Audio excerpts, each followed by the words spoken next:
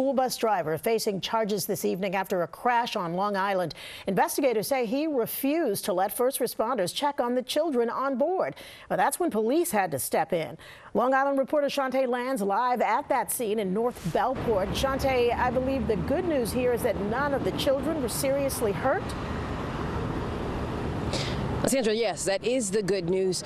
It's also not exactly clear why that bus driver was stopping EMS from getting to those children, but tonight his employer, We Transport, that bus company he was driving for, is saying that they're fully cooperating with investigators.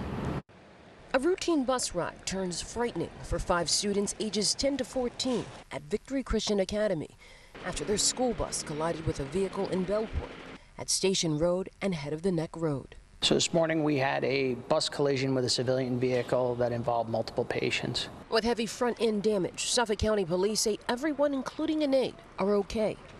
But emergency responders say it was the bus driver, 64 year old Stephen Edwards, who got himself into deep trouble. When we saw the hostile situation, we tried to verbally de escalate it so that we could get in and take care of the children, as well as the bus driver and the assistant.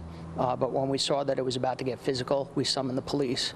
Uh, and the police got on board, and unfortunately, the individual got physical with the police and verbally accosted them. South Country Ambulance's chief says he was removed from the bus and treated for a hurt shoulder before getting arrested and charged with five counts of endangering the welfare of a child. Uh, there's a problem nowadays. EMS, fire, and police are attacked all too often uh, when responding to calls. It's clearly unacceptable and will not tolerate it. I tried to get the bus driver's side, but he wasn't home. It's not clear what the emotional state of that bus driver was at the time of the crash. He was issued a desk appearance ticket.